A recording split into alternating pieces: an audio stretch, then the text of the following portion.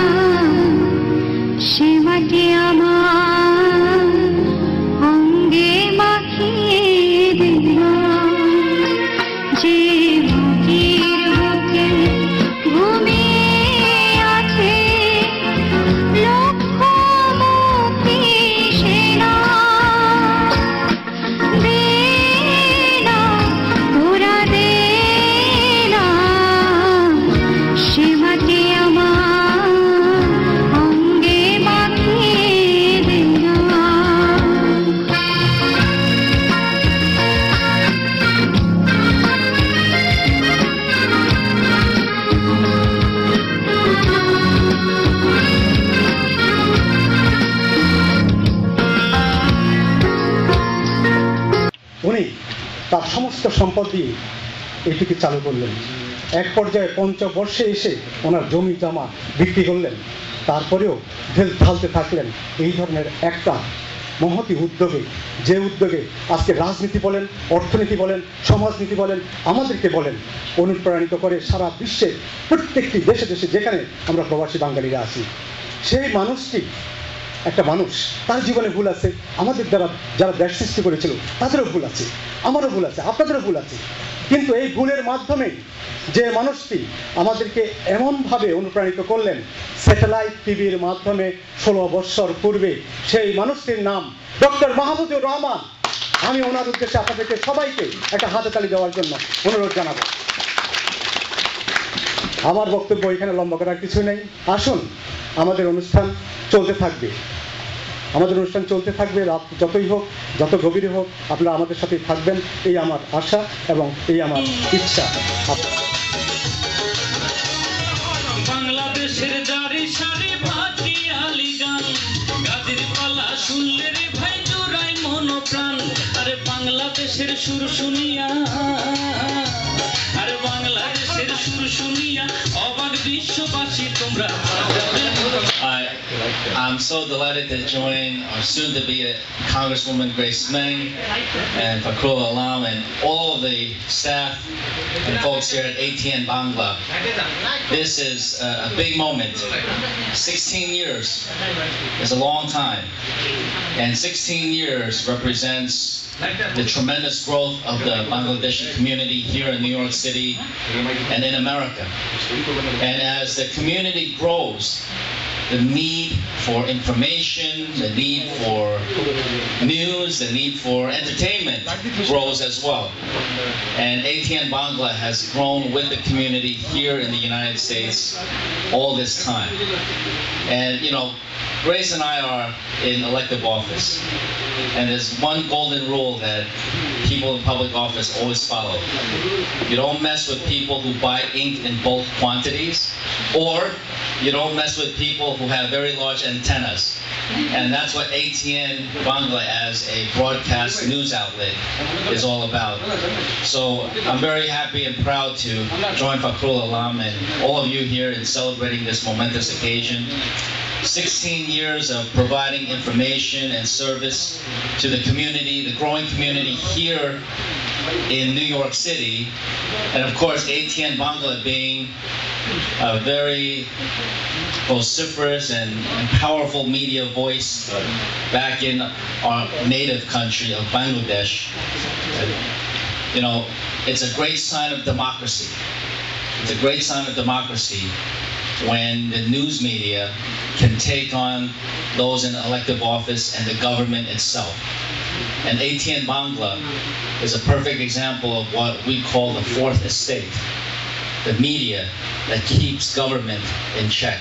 And certainly, you know, obviously there are lots of stories about what's happening in Bangladesh, but I think ATN Bangla has certainly lived up to its promise and its word in terms of upholding democracy. That's, at the end of the day, the more news and information that people have, the more democratic a society can be. So I say thank you very much. Thank you, Fakro.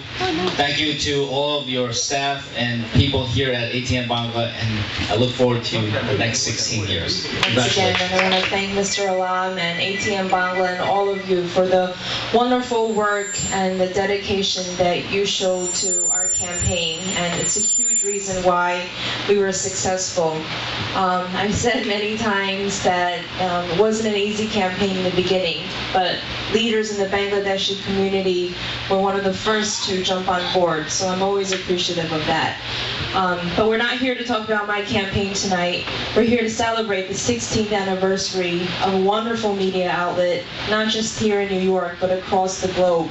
Thank you so much for all that you do to help our newer immigrants adjust to the American way of life here in New York. And thank, thank you for all that you do to help comfort them as they pave the way for the younger generation to achieve their American dream.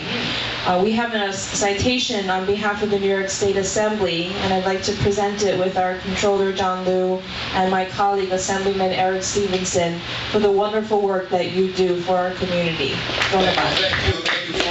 Your service that you do for us and both Bangladesh and here in uh, New York. বছরগুলোর জন্য ভালো অনুষ্ঠান সুন্দর অনুষ্ঠান উপভোগ্য অনুষ্ঠান আশা করছি।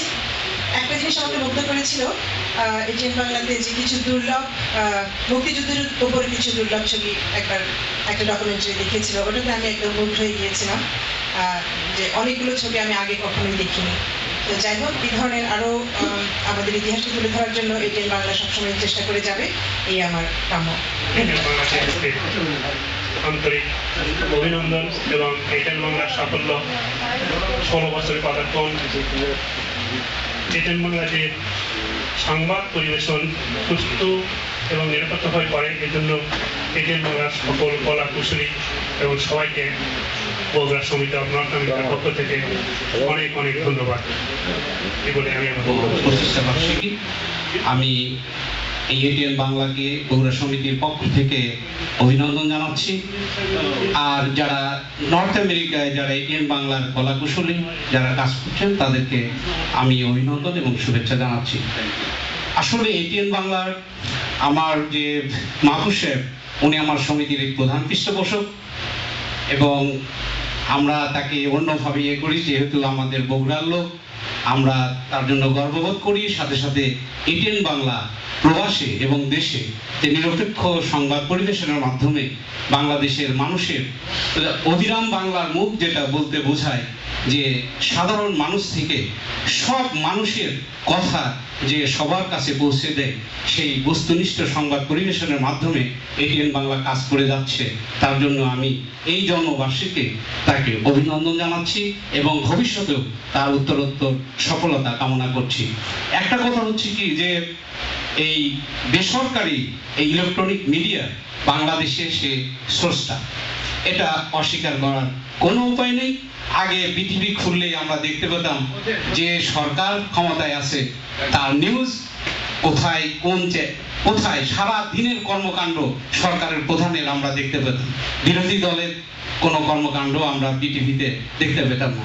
এখন এই বেসরকারি চ্যানেলের সৃষ্টির মাধ্যমে আমরা একটা জিনিস দেখতে পাচ্ছি হয়তো চ্যানেলগুলো কোনো দলের দ্বারা আবদ্ধ, কিন্তু তারপরেও প্রধানমন্ত্রী, দেশের সরকার এবং বিরোধী দলের বক্তব্য দুপক্ষ থেকে আমরা শুনতে পাই, দেখতে পাই।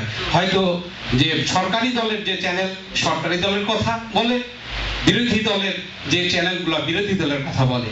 তাই বস্তুনিষ্ঠ বলতে এটাই বোঝায় যে সত্য মিথ্যা সব কিছুই বেরিয়ে আসে। এই বেসরকারি চ্যানেলের সৃষ্টির মাধ্যমেই এটা সম্ভব হয়েছে। যাই হোক, এই বেসরকারি চ্যানেল এবং বাংলাদেশের এই বেসরকারি ইলেকট্রনিক মিডিয়ার স্রষ্টা মাহফুজ সাহেবকে আজকে আমি স্মরণ করছি আমি তার দীর্ঘায়ু কামনা করছি এবং এটিএন বাংলার উত্তরোত্তর সফলতা কামনা করছি। থ্যাংক ইউ আমাদের ডিস্ট্রিক্টেরই ডক্টর মাহফুজুর রহমান সাহেবকেও আমি মনে প্রাণে এবং অন্তরের অন্তঃস্থল থেকে ধন্যবাদ জ্ঞাপন করছি। কারণ উনি যে একটা দুঃসাহসে এইরকম একটা মিডিয়াকে উপস্থাপন করছে দেশে এবং বিদেশে তার জন্য আমরা বাংলাদেশকে অতি নিকটে নিকট থেকে দেখতে পাচ্ছি এবং উনি যে দুঃসাহসের অনেক সংবাদ এবং বস্তুনিষ্ঠা সংবাদ প্রচার করে সাহসের সঙ্গে তার জন্য আমি তাকে এবং তার এটিএন ফ্যামিলিকে এটিএন বাংলার সকলকেই আন্তরিকভাবে ধন্যবাদ জানাচ্ছি। আর উনি আমাদেরই ডিস্ট্রিক্টের বগুড়ার আর এই জন্য আরও একবার ধন্যবাদ জানাচ্ছি এবং আমি আবার সংক্ষেপ কথা শেষ করছি। চ্যানেলের মধ্যে যে চ্যানেলটি সত্যের পক্ষে অসত্যের বিপক্ষে, ন্যায়ের পক্ষে, অন্যায়ের বিপক্ষে সেই চ্যানেল আজ ষোলো বছরে পদার্পণ করল। ষোলো বছরে তাদেরকে জানাই অভিনন্দন, শুভেচ্ছা। ধন্যবাদ সবাই